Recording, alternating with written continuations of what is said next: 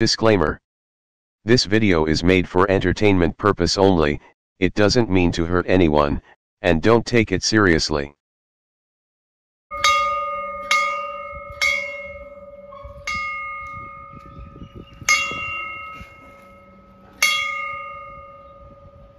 வணக்கம் மக்களே அன்பை உருத்தாக்கி பண்புடன் பயணிக்கும் அனைத்து இனி உறவுகளுக்கும் அன்பான வணக்கம் நினைவுகள் பல கோடி நிரந்தரம் ஒரு நொடி. நம்மளுடைய வாழ்க்கை என்றுமே நிரந்தரம் ஒரு நொடி தான் அந்த ஒரு நொடியில் நம்மளுடைய வாழ்க்கை எப்படி திசைமானாலும் இந்த கோணத்தில் திசைமானாலும் இதை கொண்டு தன்னம்பிக்கையுடன் வாழ்வை வெல்வதே உண்மையான வாழ்க்கை. போராட்டங்கள் இருந்த நமது வாழ்வில் என்றாவது ஒரு நாள் விடியும் அப்படின்னு காத்துட்டு இருக்க அனைத்து உறவுகளுக்கும் நிச்சயம் விடியும் நிச்சயம் விடியும் நிச்சயம் விடியும். நாளை விடியும் சொல்லி இந்த நிகழ்வுக்குள்ள நம்ம போகலாம் இந்த நிகழ்வை இன்னைக்கு என்ன பார்க்க போறோம் அப்படின்னு பார்த்தீங்கன்னா ராமகிருஷ்ணன் அப்படிங்கிற ஒருவருடைய ஆத்மாவை பற்றி தான் இதில் முழுமையா பார்க்க போறோம். இந்த நிகழ்வுல அவருடைய ஆத்ம நிலையும் அவருடைய ஆத்மா செய்யக்கூடிய செயலும் அவர் சொல்லக்கூடிய விஷயங்களும் இடம்பெற போகுது நிறைய நிகழ்ச்சிகள் பார்த்துருப்பீங்க. நிறைய நிகழ்ச்சிகள் ஆத்மாக்களை பத்தி பேசியிருப்போம். ஆத்மாக்களுடன் கம்யூனிகேட் பண்ண ட்ரை பண்ணியிருப்போம். நிறைய விஷயங்கள் நடந்திருந்தாலும் ஒவ்வொன்றும் ஒரு விதம் ஒவ்வொன்றும் புது மாதிரி. எல்லா விஷயங்களையும் நம்ம தேடிட்டு இருக்க இந்த காலகட்டங்களில் ஆத்மா இருக்கா இல்லையா அப்படின்னு நிறைய பேர் கேள்வி கிண்டல் செய்யலாம். இவன் என்ன கோமாளியா? இவன் என்ன இ- கிறுக்கனா? இவனுக்கு என்ன தெரியும்? எதற்காக இப்படி பண்றாங்க அப்படின்னு சில பேர் விமர்சிக்கலாம். யார் என்ன விமர்சித்தாலும் யார் என்ன சொன்னாலும் என்ன விஷயம் நடக்குது அப்படிங்கிறது நம்மளுக்கு தான் தெரியும். நம்ம உள் மனதுக்கு தான் தெரியும். எந்த ஒரு விஷயமும் தேடல் இல்லாமல் கிடைக்காது. தேடினால் மட்டுமே கிடைக்கும் தட்டினால் மட்டுமே திறக்கும். தேடாமலும் தட்டாமலும் மூட நம்பிக்கை தட்டுவது மூட நம்பிக்கை தேடுவது மூட நம்பிக்கை. தட்டினால் திறக்காது தேடினால் வராது அப்படின்னு சொல்லிட்டு ஒதுங்குவதை விட தட்டி பார்ப்போம் கேட்டு பார்ப்போம் அப்படின்னு உள்ளே நுழைந்து பார்ப்பதே சிறந்தது அப்படின்னு சொல்லி இன்னைக்கான நிகழ்வுகளை போகலாம் ராமகிருஷ்ணன் அப்படிங்கிற ஒரு நபர் முன்னொரு காலத்தில் ஒரு அழகான கிராமத்தில் வாழ்றாரு. அவர் வாழ்ந்த அந்த கிராமத்தில் ஒரு அழகான மாரியம்மன் ஆலயம் இருக்கு. அந்த மாரியம்மன் ஆலயத்திற்கு தினமும் அவர் விவசாயத்திற்கு தோட்டத்திற்கு செல்வதற்கு முன்பு அந்த மாரியம்மன் ஆலயத்திற்கு சென்று மாரியம்மன் ஆலயத்தை சுற்றி வர சுத்தம் செய்து மாரியம்மனுக்கு தேவையான பூக்களை தொடுத்து அவங்க வீட்டிலிருந்து அவங்க மனைவி தொடுத்து கொடுக்கறதை எடுத்துக்கொண்டு போய் மாரியம்மன் ஆலயத்தில் வைத்து பூஜைகள் செய்து மறுபடியும் அவருடைய வேலையும் அவருடைய வயல் வேலைகளுக்கு மறுபடியும் சென்றுவார். சென்று மீண்டும் இரவு நேரங்களில் வந்து அதாவது சாயந்தர வேலைகளில் வந்து மீண்டும் அந்த கோயிலை சுத்தம் செய்து அந்த கோயிலை பராமரிக்கிற பணியில் ஈடுபடுறாரு. இப்படி தினமும் அவருடைய வாழ்க்கை இந்த மாதிரி ரொட்டீனில் போயிட்டு இருக்கு. அவர் அழகா அந்த மாரியம்மன் கிட்ட கேட்கக்கூடிய ஒரே விஷயம் என்ன அப்படின்னு பார்த்தீங்கன்னா எங்களுக்கு ஒரு குழந்தை பாக்கியம் கொடு. எங்க இருவருக்கும் ஒரு குழந்தை பாக்கியம் கொடு. எங்களை அம்மா அப்பா என்று அழைக்க தாயே எங்களுக்கு ஒரு குழந்தையை கொடு. நீயே குழந்தையாக வந்து பிறந்தாலும் இன்னமும் சந்தோஷப்படுவோம். எங்கள் வாழ்வு பூர்த்தி அடைய எங்கள் வாழ்வு முழுமையடைய எங்களுக்கு ஒரு குழந்தை வேண்டும். திருமணமாகி பல ஆண்டுகளாக குழந்தை இல்லாமல் உன் ஆலயத்திற்கு சேவை செய்து வருகிறேன். இன்னும் நீ கண் திறக்கல இன்னும் நீ கண் திறந்து பார்க்கல. ஆனா என்னுடைய பணிகளை நான் செஞ்சுக்கிட்டு தான் இருக்கேன். தாய்கிட்ட மகன் பலனை எதிர்பார்க்காம செய்யற மாதிரி நான் உங்ககிட்ட செய்யறேன் அப்படின்னு வந்து தினமும் வேண்டிட்டு போகிறாங்க தினமும் அந்த அம்மனையே நினைத்து தூங்குறாங்க. அந்த அம்மனையே நினைத்து வழிபாடு செய்கிறாங்க அம்மனுக்காக விரதம் இருக்காங்க. அம்மனுக்காக பூஜை புனஸ்காரங்கள் கணவனும் மனைவியும் சேர்ந்து செய்றாங்க. இப்படி பல விஷயங்கள் அம்மனுக்காக அவங்க செஞ்சிட்டு இருக்க காலகட்டங்களில் இடி விழுகிற மாதிரி அவருடைய வாழ்க்கையில் ஒரு நிகழ்வு நடக்குது. என்ன அப்படின்னு பார்த்தீங்கன்னா அந்த கோயில்ல திருவிழா நடக்குது. திருவிழா ஆரம்பிச்சதுனால இவங்களும் சந்தோஷமா கோயிலை சுற்று செய்வதும் திருவிழாவுக்கு தேவையான வேலைகள் செய்வதும் இவங்க வீட்டுக்கு உறவினர்களை அழைப்பதும்னு ரொம்ப ராமகிருஷ்ணன் வந்து ரொம்ப சந்தோஷமா இருக்காங்க. அவங்களோட மனைவி பார்வதி வந்து சொல்றாங்க இந்த திருவிழாவை வந்து நம்ம கோலாகலமாக கொண்டாடணும். இந்த திருவிழாவை வந்து நம்ம மகிழ்ச்சிகரமாக கொண்டாடணும். நம்ம அம்மா வந்து இந்த திருவிழாவில் ரொம்ப அழகாக இருக்கணும். நம்ம அம்மாவுடைய அழகை பார்த்து இந்த ஊரை வைக்கணும் அதனால் நம்ம அம்மாவுக்கு நம்மளால் முடிஞ்ச அலங்கார பொருட்கள் வாங்கி கொடுக்கணும் அப்படின்னு வந்து கணவன்கிட்ட கேட்குறாங்க அப்போ கணவர் சொல்கிறாரு அம்மாவுக்கு வந்து நம்ம தினமும் பூஜைகள் செய்வதற்கு தேவையான விஷயங்கள் கொடுத்துட்டு தான் இருக்கும். கோயிலை சுற்றி சுத்தம் செய்துக்கிட்டு தான் இருக்கும். இன்னும் நமக்கு குழந்தை பாக்கியம் கொடுக்கல. குழந்தை பாக்கியம் கொடுத்தா அந்த அம்மாவுக்கு வந்து திருமாங்கலையும் சாத்தலான்னு நான் வேண்டியிருக்கேன் அப்படின்னு சொல்கிறாங்க அப்போ இவங்க சொல்கிறாங்க திருமாங்கலையும் நம்ம குழந்தை பிறந்ததுக்கப்புறம் சாத்தலாம். இப்போ நம்ம கையில் இருக்கிற காசை வச்சு அம்மாவுக்கு ஒரு நெக்லஸ் பண்ணி போடலாம் அப்படின்னு சொல்கிறாங்க இதான் நெக்லஸ் அது எவ்வளோ காஸ்ட்லி அது எவ்வளோ விலை? நம்ம வந்து போட முடியுமா? நம்மக்கிட்ட இருக்க வருமானத்தை இல்லை. என்னுடைய நகைகள் சில இருக்குது அதை விற்று அம்மாவுக்கு இதை பண்ணி போட்டே ஆகணும் அப்படின்னு சொல்கிறாங்க இவர் வந்து கணவர் வந்து யோசிக்கிறாரு எதுக்காக நம்ம இப்போ வந்து கடன் உடன் இந்த நகையெல்லாம் விற்று நம்ம செய்யணும்? இந்த இந்த காசெல்லாம் இருந்தால் நமக்கு பிற்காலத்தில் உதவியாக இருக்குமே. நமக்கு என்ன குழந்தை இல்லாத சொத்து நீ முடிவு பண்ணிட்டியா? குழந்தை பிறந்தா அதெல்லாம் நம்ம பண்றதுக்கு குழந்தைகளுக்கு சேர்த்து வைக்கணுமா இல்லையா? நமக்கு நிச்சயம் குழந்தைகள் கிடைக்கும். எதற்காக இப்படி ஒரு முடிவு எடுத்த அப்படின்னு சொல்லும் பொழுது அவங்க சொல்றாங்க குழந்தைகள் கிடைக்கும் அப்படிங்கிற நம்பிக்கை எனக்கு இருக்கு. குழந்தைகள் கிடைக்கும் அப்படிங்கிற நம்பிக்கையை விட அம்மா கொடுப்பாள் அப்படிங்கிற நம்பிக்கை எனக்கு இருக்கு. அம்மா மேல இருக்க நம்பிக்கையில அம்மாவுக்கு நான் கொடுக்குறேன் அம்மா எனக்கு திருப்பி கொடுக்கணும்னு நான் நினைச்சு செய்யல. அம்மாவுக்கு நான் இதை செய்யணும்னு ஆசைப்பட்டுட்டேன். இதை செய்ய முடியுமா முடியாதான்னு மனைவி கேட்குறாங்க சரி செய்யலாம் அப்படின்னு சொல்லிட்டு போய் அவங்க எல்லாத்தையும் வித்து காசை புரட்டி அங்க புரட்டி இங்க புரட்டி திருவிழாவன்றைக்கு அந்த நகையை செய்து எடுத்துட்டு போறாங்க. திருவிழா திருவிழாவப்ப அதை எடுத்துட்டு போய் அந்த நகையை அம்மனுக்கு சாத்த சொல்லி கொடுக்கும் பொழுது அந்த கோயிலில் இருக்க சில நபர்கள் சொல்றாங்க இதை எதுக்காக எடுத்துட்டு வந்த? நீ வந்து கொடுத்தா அம்மா ஏத்து ஏதோ கோயிலை சுத்தம் பண்ண பூ கொடுத்த எல்லாம் பண்ணனா சரி. கோயிலை சுத்தம் பண்ற நீ வசதி இல்லாத நீ இதை கொண்டு வந்து கொடுத்தா வசதியா இருக்க நாங்க எங்களை எப்படி மதிப்பாங்க? எங்களை எப்படி ஊர்க்காரங்க எடுத்துப்பாங்க ஊர்ல என்ன பேசுவாங்க? இவன் மாதிரி இல்லாதவன் வந்து அம்மனுக்கு இப்படி செய்யறான் இருக்கிற தர்மகர்த்தா இருக்கிறவங்க எல்லாருமே அமைதியா நிக்கிறீங்களே. இல்லாதவன் வந்து இத்தனை செய்யறானே அவன் கோயிலுக்கு பெரிய ஆள் மக்கள் மத்தியில இவர் தான் உயர்ந்தவர் அப்படின்னு பேச ஆரம்பிச்சிருவாங்க. எங்களுடைய கௌரவம் என்னாகும்? எங்களுடைய அந்தஸ்து என்னாகும்? நீ இதை போடக்கூடாது சாமிக்கு. எடுத்துட்டு போ அப்படின்னு சொல்றாங்க. சரி அப்படின்னு போட்டு என்னடா பிரச்சனை? நம்மளால ஊருக்குள்ள வரக்கூடாது அப்படின்னு சொல்லிட்டு அம்மா தாயே உனக்காக கொண்டு வந்தோம். இதை உன் கழுத்துல போட்டு பார்க்க முடியல. என்ன பண்ணுவியோ ஏது பண்ணுவியோ நீ ஏத்துக்கிட்டாலும் சரி இதை தூக்கி போட்டாலும் சரி அப்படின்னு சொல்லிட்டு அவங்க வந்து வாசலில் வச்சுட்டு அவங்க வீட்டுக்கு போயிடுறாங்க. போயிட்டு ரெண்டு பேரும் அழுதுகிட்டே இருக்காங்க. அழுதுகிட்டே இருக்கும் பொழுது அம்மன் வந்து கனவுல சொல்றாங்க. அழுதுகிட்டே இருந்துட்டு அவங்க தூங்கிடுறாங்க சாப்பிட்டு. தூங்கும் பொழுது அம்மா அம்மன் வந்து கனவுல சொல்றாங்க நீ அன்பால் சிறந்தவன் அன்பால் உயர்ந்தவன் அன்பால் அழகானவன். உன்னுடைய அன்புக்கு ஈடுனை எதுவுமே கிடையாது. நீ போய் அந்த நகைகளை எடுத்து உன் வீட்டுக்கு கொண்டு வந்துரு. தயவு செய்து எடுத்துக்கோ. அது வந்து எனக்கு இப்ப தேவையில்லை.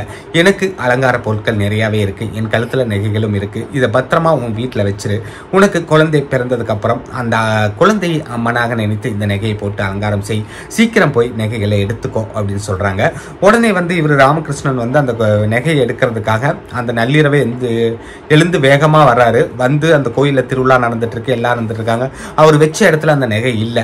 அந்த நகை இல்லை அப்படிங்கும் பொழுது அந்த கோயிலில் இருக்கிறவங்க கிட்ட கேட்குறாங்க இங்கனால நாங்கள் நகையை வச்சுட்டு போனோம்? இப்போ காணமே அப்படின்னு சொல்லும் பொழுது நீ ஏன் வச்சுட்டு போன? உன்னை- நீ எடுத்துட்டு தானே போக சொன்ன. உன்னை யார் இங்கே வைக்க சொன்ன? யார் எடுத்துட்டு போனாங்களோ? யார் திட்டிகிட்டு போனாங்களோ? எங்களுக்கு தெரியாது அப்படின்னு சொல்லிடுறாங்க. சரி அப்படின்னு சொல்லிவிட்டு அவரும் போய் வீட்டில் தூங்கிடுறாரு. திருவிழாவும் முடிகிற கடைசி நாள் வருது. அப்போ அம்மனுக்கு வந்து நிறைய நகைகள் தங்க நகைகள் சாத்தியிருக்காங்க. திருவிழா முடிந்த கடைசி நாள் அந்த நகைகளை கழட்டி க தர்மகர்த்தா கொடுக்க சொல்கிறாரு பத்திரமா கொண்டு போய் நம்ம வைக்கணும்னு. அப்போ பூசாரி சொல்கிறாரு மறுபூஜை முடியாமல் அந்த நகைகளை கழட்டக்கூடாது அப்படின்னு சொல்லும் பொழுது சரி இன்னைக்கு ஒரு நாள் இருக்கட்டும். பத்திரமா கோயிலை பூட்டிட்டு நீங்கள் வந்து வந்துருங்க. நாளைக்கு வந்து மறுபூஜை பண்ணிட்டு நகையை கழட்டிடுங்க நகை கம்மன் கழுத்தில் இருக்கிற ஊருக்குள்ளே யாருக்கும் தெரிய வேண்டாம்னு சொல்கிறாங்க சரின்னு அவரும் பூட்டிட்டு போய் தூங்கிடுறாரு. நீ வந்து காவலருன்னு பூசாரிக்கிட்ட தர்மகர்த்தா சொல்லிட்டு போறாரு. தர்மகர்த்தா சொன்ன வார்த்தையை கேட்காம பூசாரி வீட்டுக்கு போயிடுறாரு. அந்த நகைகள் எல்லாம் காலையில் காணாமல் போயிடுது காணாமல் போனதுக்கு அப்புறம் எல்லாரும் ஊரே சேர்ந்து சொல்லக்கூடிய ஒரு விஷயம் என்ன அப்படின்னு பார்த்தீங்கன்னா இது ராமகிருஷ்ணன் வேலை தான் ராமகிருஷ்ணன் நகையை போடக்கூடாதுன்னு சொன்ன உடனே ராமகிருஷ்ணன் கோவத்தில் எல்லா நகையும் கழட்டிட்டு போயிட்டான். அவனை சும்மா விடக்கூடாது. அவன் தான் இந்த வேலையை செஞ்சிருக்கான். அவன் கொண்டு வந்த நகையை போடக்கூடாதுன்னு சொன்னதுக்காக அம்மன் கழுத்துல நகையை இருக்கக்கூடாதுன்னு முடிவு பண்ணிட்டான் அப்படின்னு வந்து தர்மகர்த்தாலிருந்து எல்லாரும் அவர் மேல பழிய போடுறாங்க. இந்த விஷயம் நாளடைவில் அறிந்து ஊர் பஞ்சாயத்தில் கொண்டு வந்து ராமகிருஷ்ணன் நிறுத்துறாங்க. ராமகிருஷ்ணன் மனமுடைந்து அழுகும் பொழுது அந்த ஊரில் யாரும் ராமகிருஷ்ணனுக்கு சப்போர்ட்டுக்கு முன்வல்ல.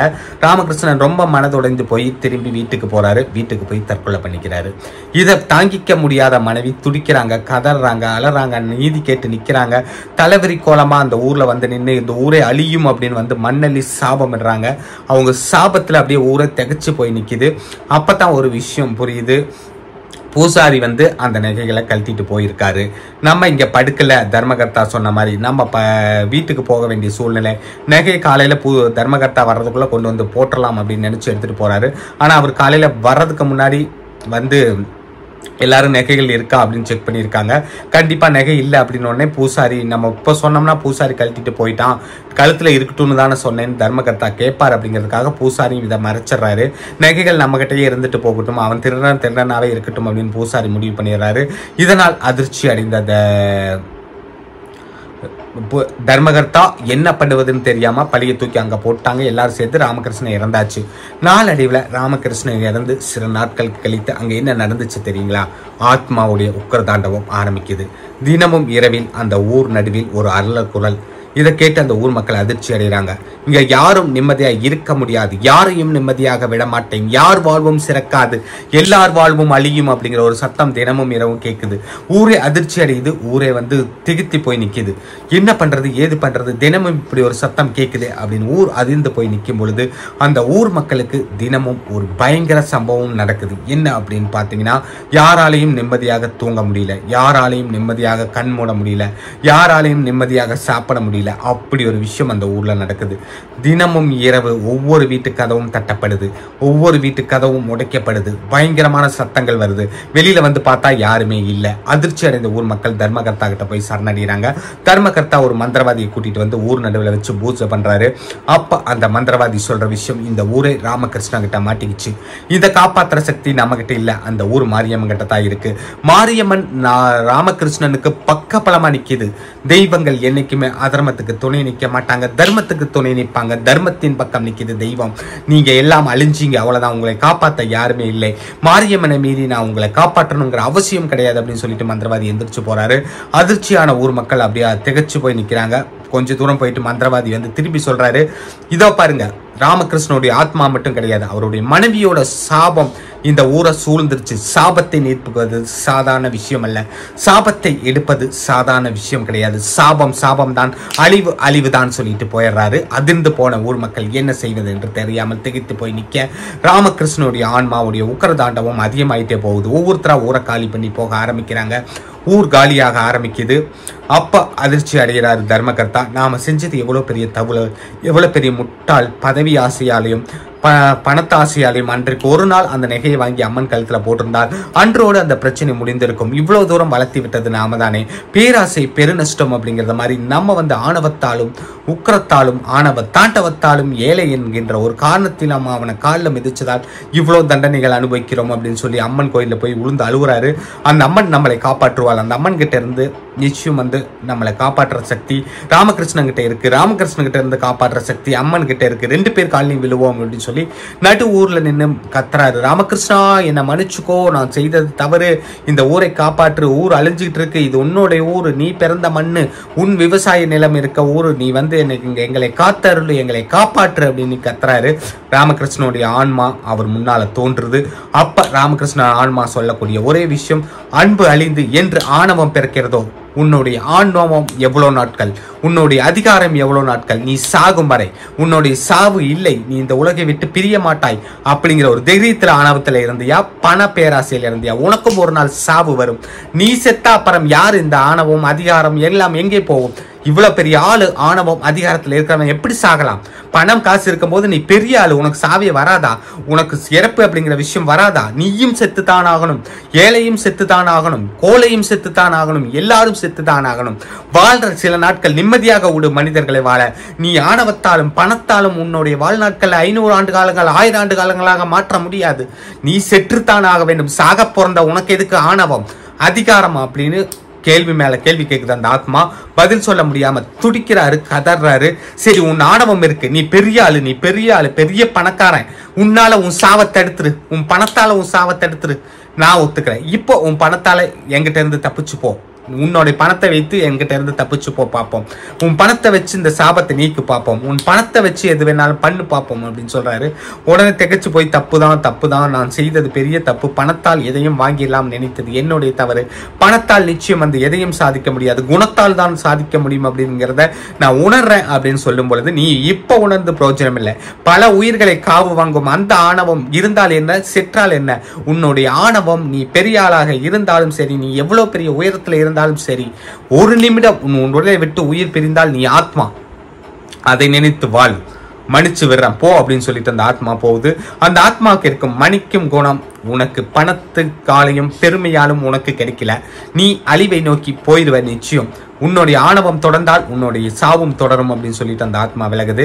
இது எதற்காக இந்த ஒரு ஸ்டோரி அப்படின்னு பார்த்தீங்கன்னா எல்லாருமே நம்ம பெரிய ஆள் பெரிய விஷயம். நம்ம வந்து இந்த உலகத்தில் ஆள பிறந்தவங்க நம்ம பணக்காரங்க எனக்கு தைரியம் இருக்குது தன்னம்பிக்கை இருக்குது உன்னை நான் வந்து மிரட்ட முடியும் உன்னை வந்து என்ன வேணாலும் செய்ய முடியும் உன்னால் என்னை என்ன பண்ண முடியும் அப்படிங்கிற நிறைய ஆணவங்களும் அதிகாரங்களும் நம்ம வாழ்க்கையில் இருந்தாலும் நம்மளாலும் வெல்ல முடியும் நம்மளாலும் வாழ முடியும் நம்மளாலும் செய்ய முடியும் நடப்பது நடக்கட்டும் நம்ம விதிப்படின்னு சொல்லி நம்ம வாழ்க்கையை நோக்கி நம்ம பயணிச்சுக்கிட்டே இருப்போம். இறைவன் கொடுத்த வாழ்க்கை இறைவன் தான் முடிவு பண்ணணும். எந்த ஒரு ஆணவமோ பணத்திமரோ யாரையும் காப்பாற்றுறது பணம் அப்படிங்கிறது அழிவை நோக்கி பணம் அப்படிங்கிறது வந்து தம்முடைய வாழ்க்கை தேவைக்காகவே தவிர பெருமை வாழ்க்கைக்காக இல்லை அப்படிங்கிறத உணர்ந்தாலே வாழ்க்கை நிச்சயம் எல்லார் வாழ்விலும் வளங்கள் பெறட்டும் எல்லார் வாழ்விலும் அன்புகள் பெறட்டும்.